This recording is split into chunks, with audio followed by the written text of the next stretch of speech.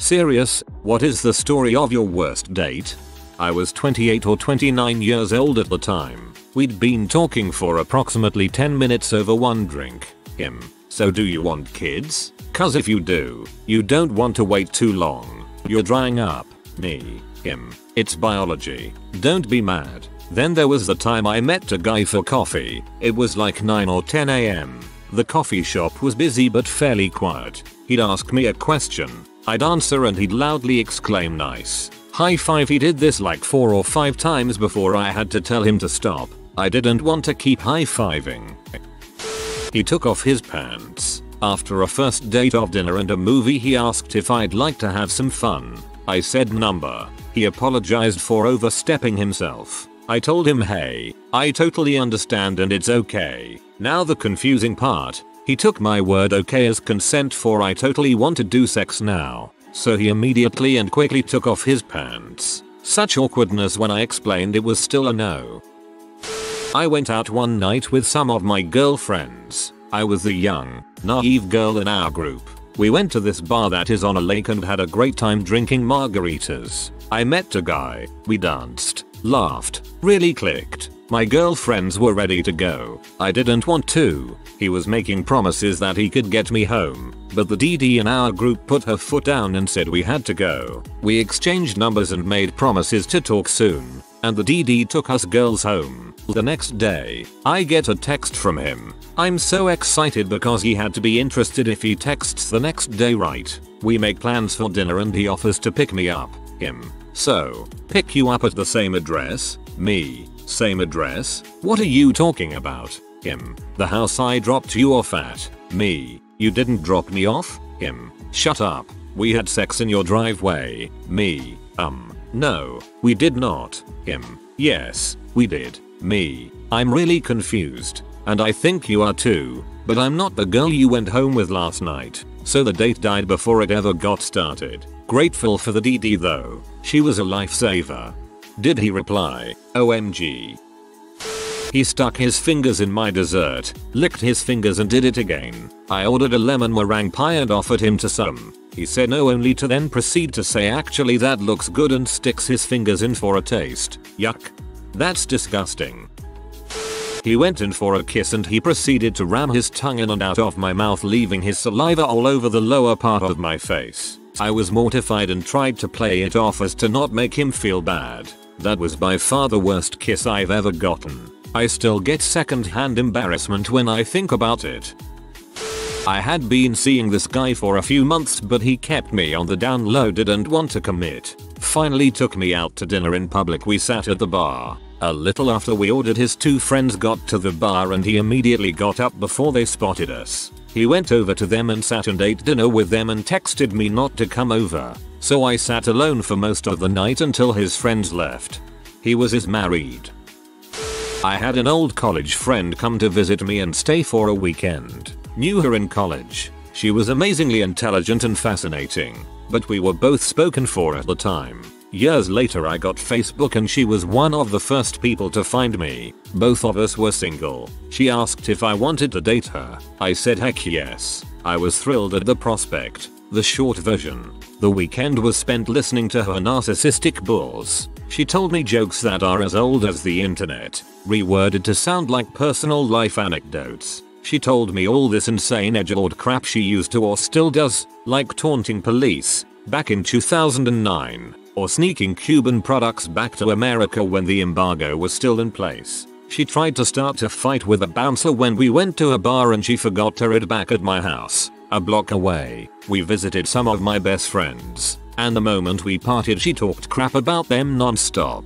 My brother came by since I texted him I was out and hung out. She talked to him for quite a while. He left. Then she spent the rest of the night talking about how attractive he was. At this point I was just counting the hours until she left. I was no longer interested in her. She finally left, and I get a text that night. You failed all my tests. You laughed at my jokes that weren't really jokes. You didn't defend me against the bouncer. And you aren't interested in my passion. Fighting bouncers and cops. And you sat there and took it while I talked about your brother. Also, I don't find you physically attractive. I didn't reply. I just cut my losses and fell asleep.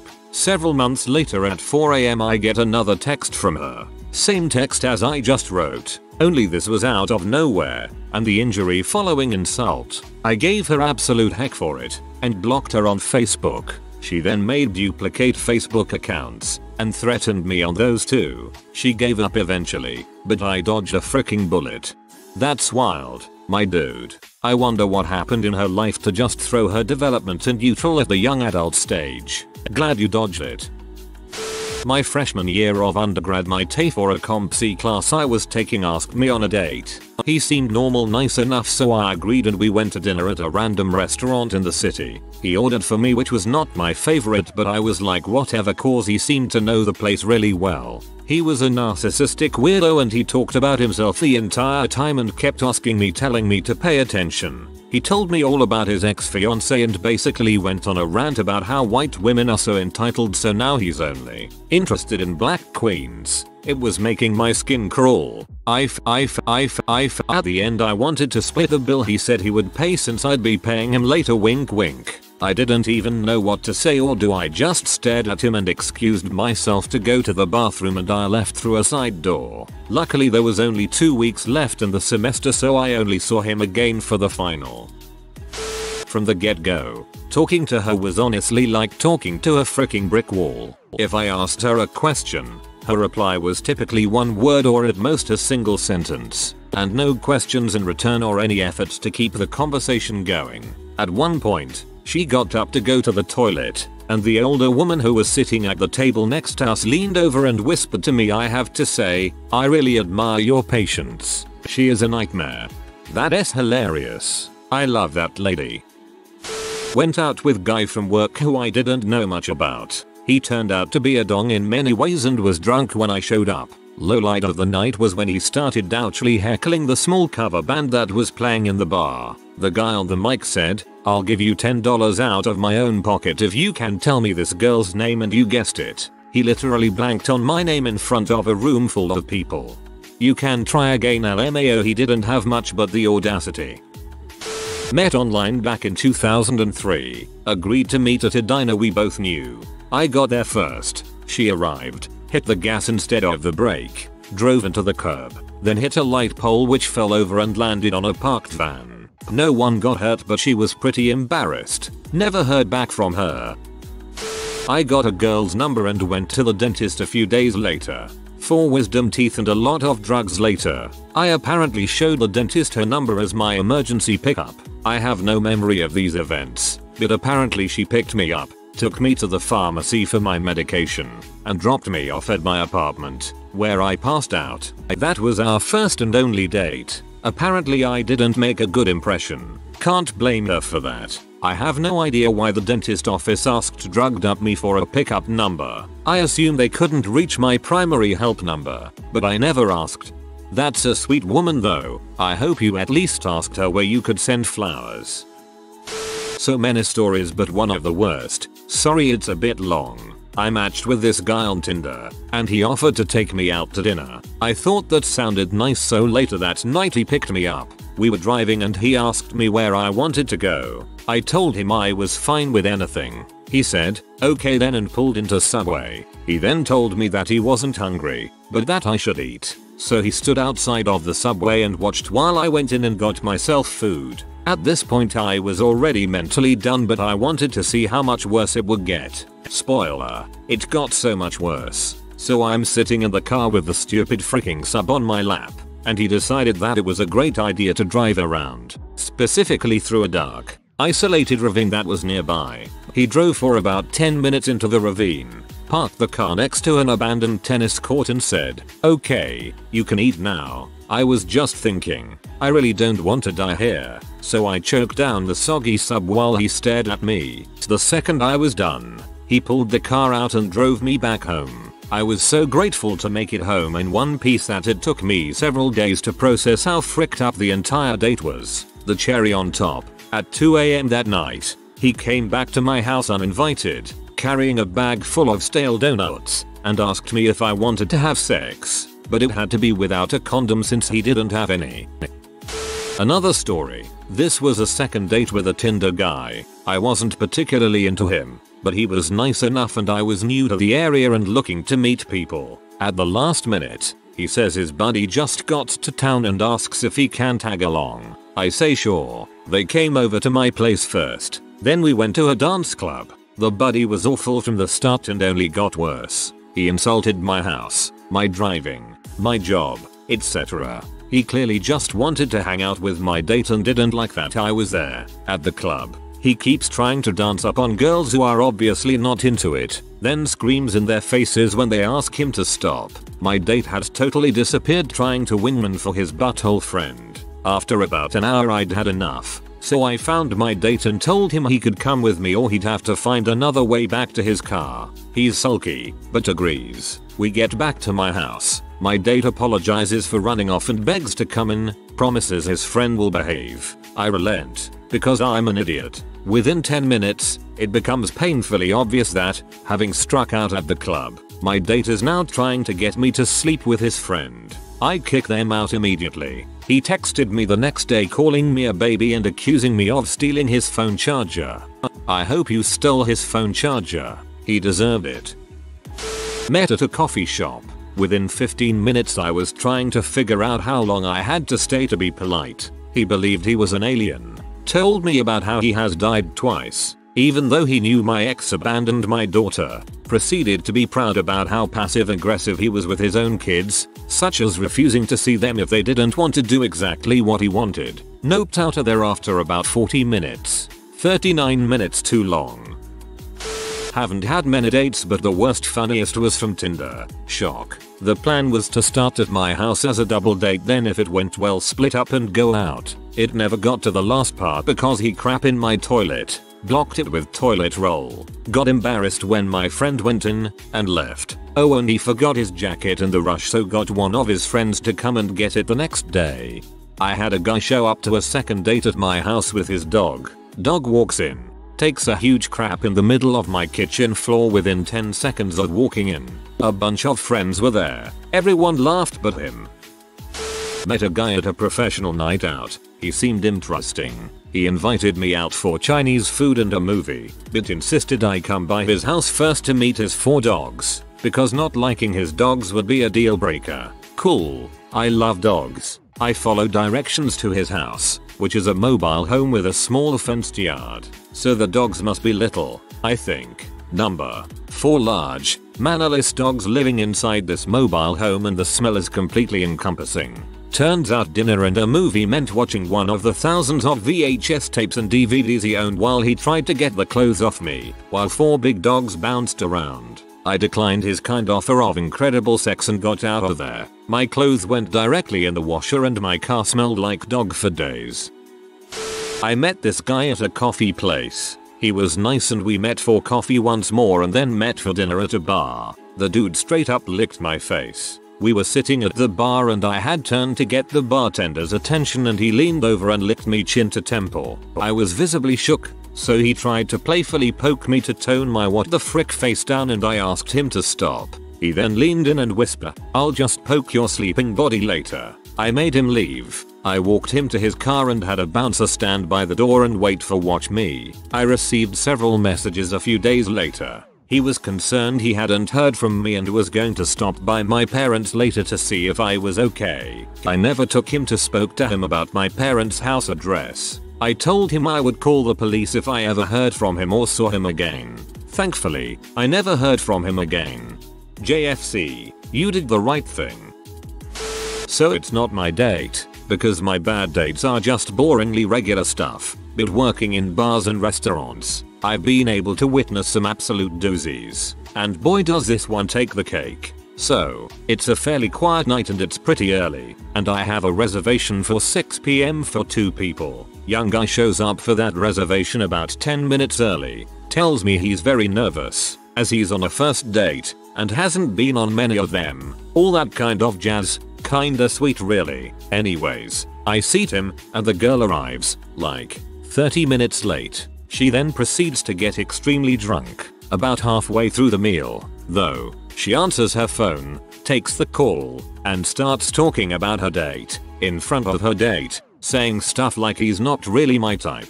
I don't exactly like him but I figured I had nothing else planned tonight so why not. Young man looks super discouraged, pays his bill, and leaves. He's a nice lad. I've seen him a few times at the bar I work at now. Frick that chick. I would have just walked out and left her the tab.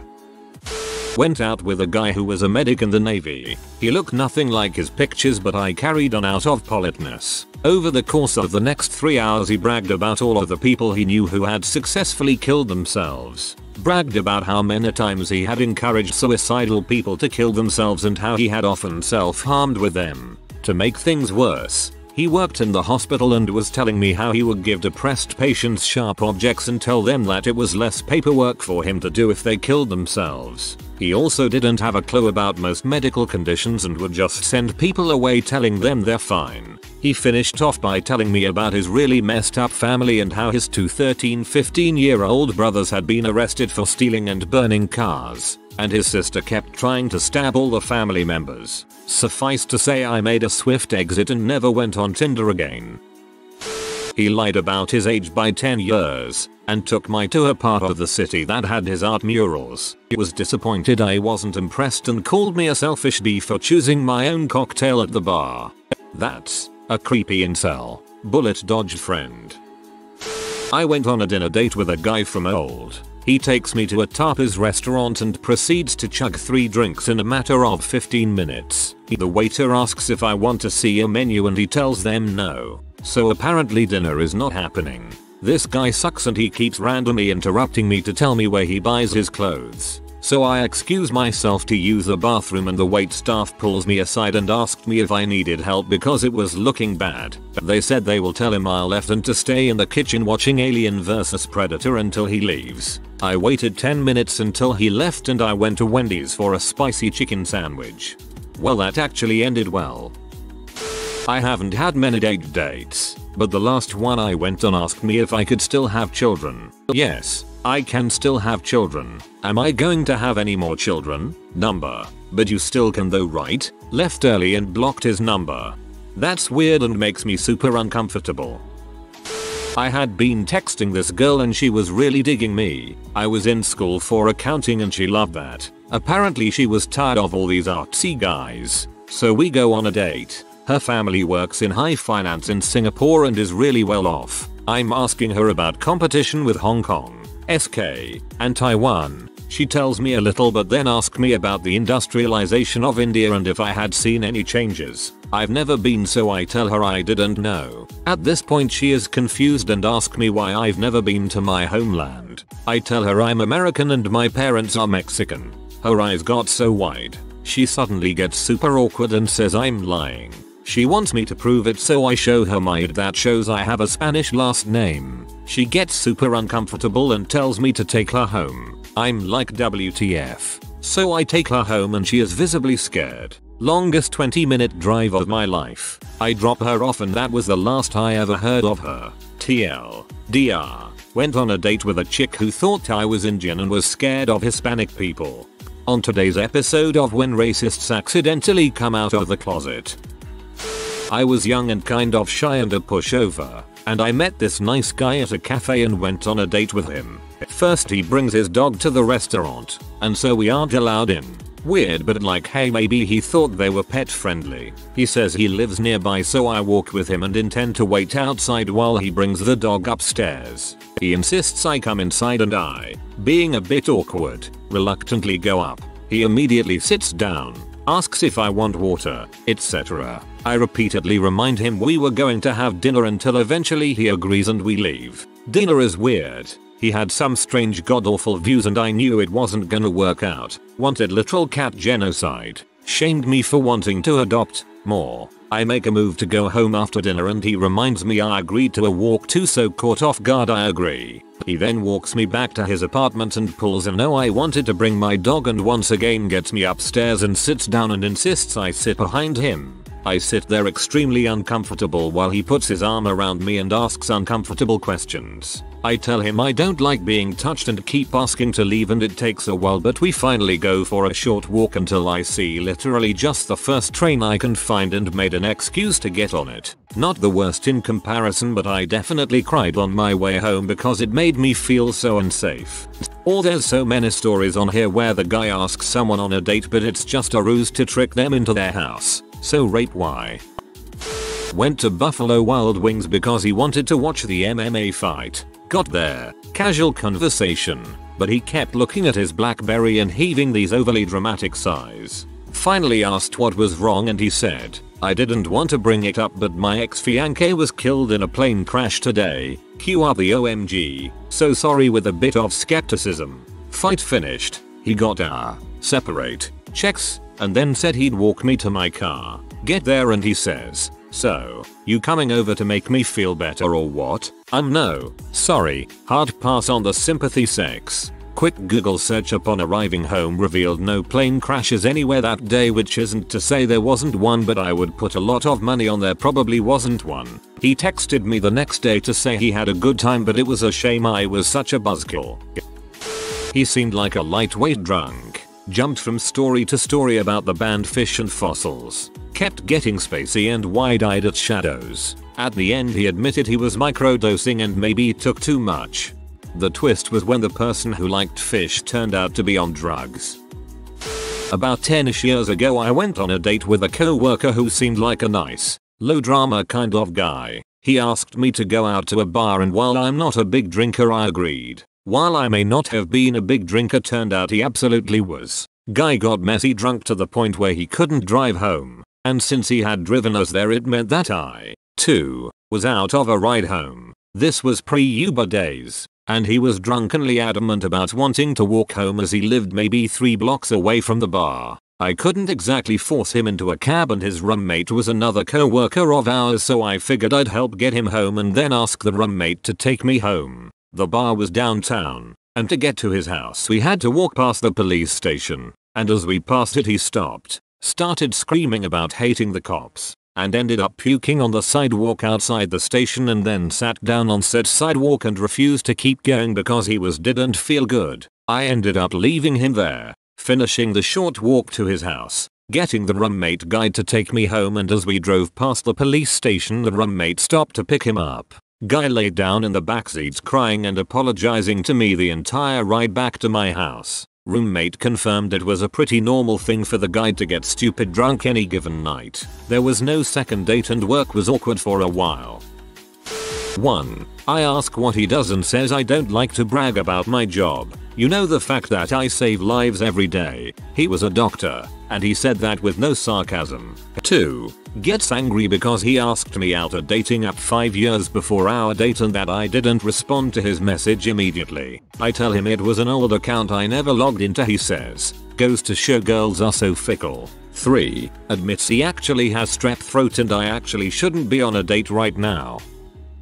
We were both broke, so we went walking around this cute, teeny tiny country town near us, and then got McDonald's to eat in the car so we could chat some more. He almost immediately starts pressuring me for sex because he bought me a cheeseburger, so I owe him, he says. He starts getting pushy, and I say, okay, but let's go get some condoms from this gas station that's on the other of town. I drove for this date, so I take us to the gas station, and tell him to go get the condoms while I wait. I wait for him to get in the door and go a bit farther into the store before I drive off, leaving him stranded in this tiny gas station in the days before cell phones got popular. In a tiny country town with no bus service, no ride shares, and everything shuts down by 6pm. I know from mutual friends he made it home, but they already knew why he'd been ditched at the gas station, so no one cared about his crappy whining about it. Please accept this poor woman's gold. I freaking love this story.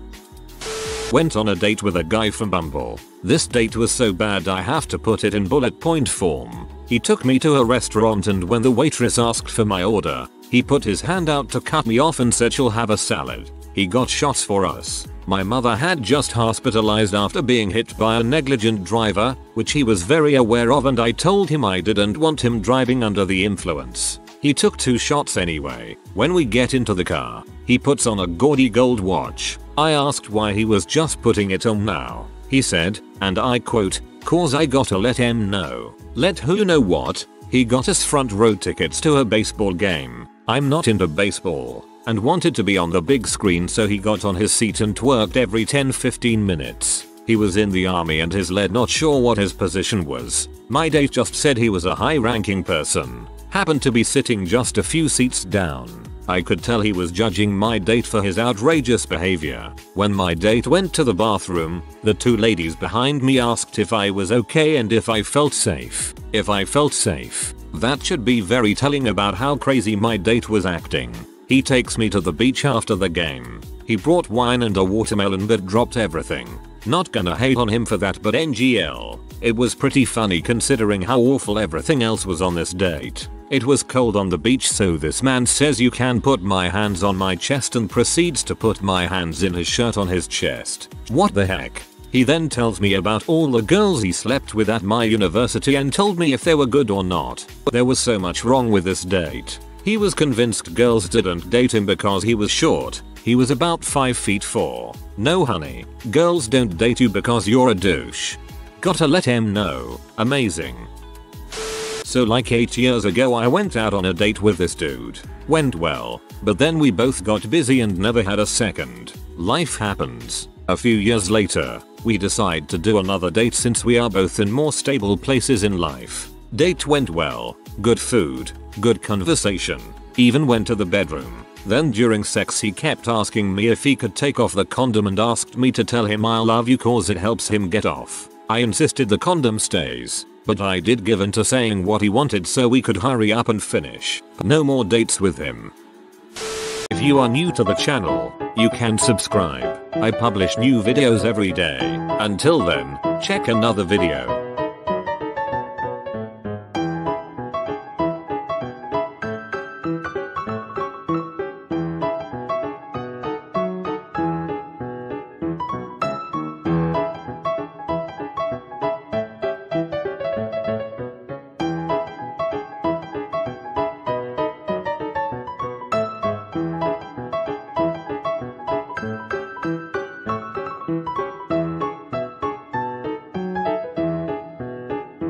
Bye for now.